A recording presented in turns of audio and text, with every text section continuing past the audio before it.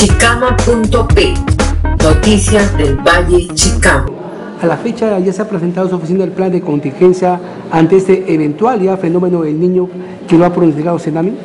Sí, miren, estamos nosotros, en este momento nosotros desde el mes de febrero estamos trabajando ya con los puntos vulnerables, o sea, trabajando ya el plan de contingencia.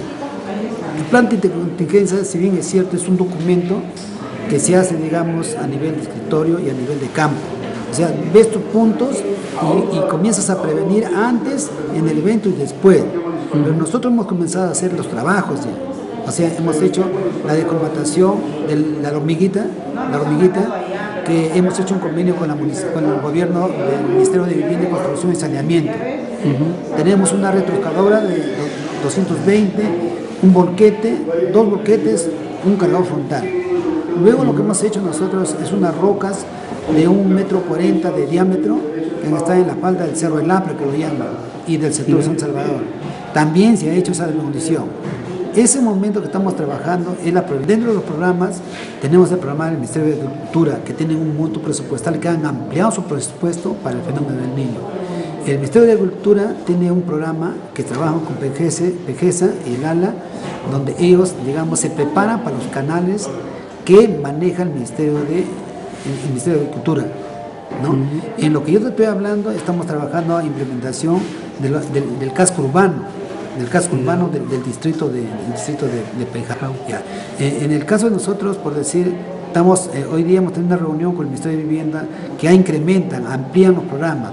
O sea, ellos ya nos mandaron máquina, que nosotros podemos solicitarlo haciendo proyectos de perfiles, de fichas técnicas para que vengan, digamos, estos son planes de contingencia que el gobierno nos ayuda a implementar ese, plan de contingencia. Eh, algunas prevenciones más en la cuestión de lluvias, por ejemplo, se están haciendo una eh, volante de sensibilización, algunos spots publicitarios. Mire, hoy lo que estamos trabajando, lo que en realidad estamos trabajando nosotros es hacer, digamos, los presupuestos para los, los damnificados. O sea, ¿Qué le digo? Nosotros estamos haciendo un diagnóstico de cada sector donde posiblemente va a romper el cauce de agua y a cuántos damnificados. Entonces nosotros estamos haciendo unos censos de los damnificados y estamos proponiendo a la alcaldía, al presidente de la Defensa Civil de la municipalidad, para que compren esos útiles de, emergencia.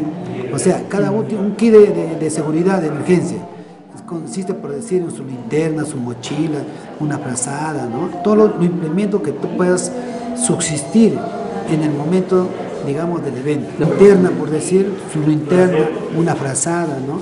Una frazada, guantes, un bota, por decir, que ha hecho un informe de cuadrillas también. O sea, diferentes, por decir, eh, en este sector va a pasar el río, va a pasar el agua, el agua, ¿no? Del fenómeno del niño. Entonces, ¿cuántos damnificados? 50. Entonces, para esas 50 personas debemos dar su mochila de, emergencia. Tenemos nosotros que va a afectar en dos, en dos sectores. Lo que está llegando Macabí.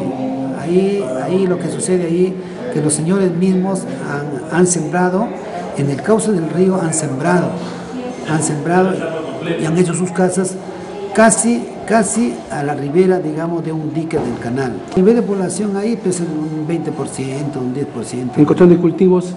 En cultivos sí tienen que, o sea, ellos han sembrado en el canal, en otras palabras. O sea, en el canal han sembrado, o sea, entonces ellos cualquier momento que viene la avenida de aguas tienen que llevarlo todo ese embrión, ¿no?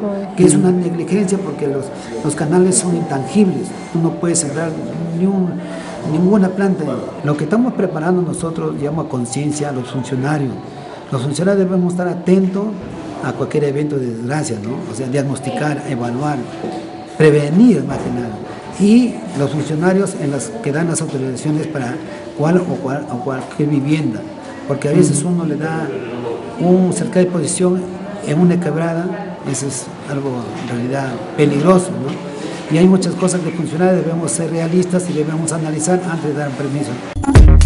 Chicama.p Noticias del Valle